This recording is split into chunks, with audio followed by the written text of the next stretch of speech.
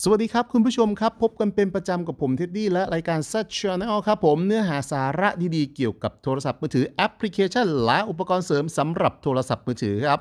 วันนี้ฮะเราจะมาคุยกันเรื่องเคล็ดลับการใช้ Facebook แอปพลิเคชันและ Messenger ครับในส่วนที่เรียกว่า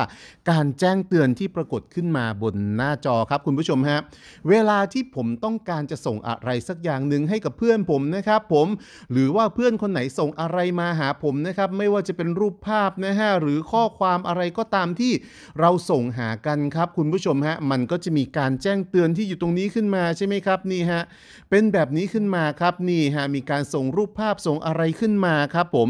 และทีนี้ฮะส่วนใหญ่ที่เราทำกันก็คือว่าลากเจ้าข้อความนี้ครับลงมาปิดที่ด้านล่างแบบนี้ใช่ไหมครับ เพราะว่าเราไม่แน่ใจว่าวิธีการปิดไอ้ส่วนตรงนี้มันทำได้อย่างไรบ้างครับ ซึ่งการปิดตรงนี้นะครับ คุณผู้ชมฮะเขามีชื่อเรียกว่า Chat เฮดครับผมแชทเฮดฮะคุณผู้ชมฮะ นั่นหมายความว่าเราไม่สามารถจะไปตั้งค่าการแจ้งเตือนที่การแจ้งเตือนตามปกติธรรมดาได้ใช่ไหมครับคุณผู้ชมฮะ หากเราต้องการจะปิดไม่ให้มีการแจ้งเตือนตรงนี้ปรากฏขึ้นมาบนหน้าจอครับ ให้คุณผู้ชมมาที่คำว่า Messenger Application ตรงนี้ครับผม แตะเข้ามาตรงนี้ฮะหลังจากนั้นครับให้คุณผู้ชมมาแตะที่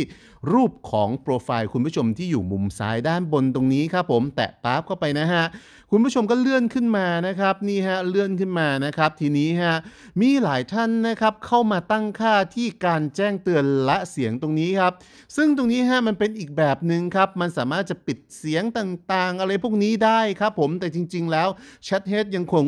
ปรากฏขึ้นมาอยู่ตลอดเวลาครับคุณผู้ชมฮะแต่ที่เราต้องทำจริงๆนะครับให้คุณผู้ชมเลื่อนขึ้นมานะครับจนกระทั่งถึงคำว่า chat head ตรงนี้ครับผมนี่ฮะ chat head นะจะพูดผิดเป็น head chat ตลอดเลยครับ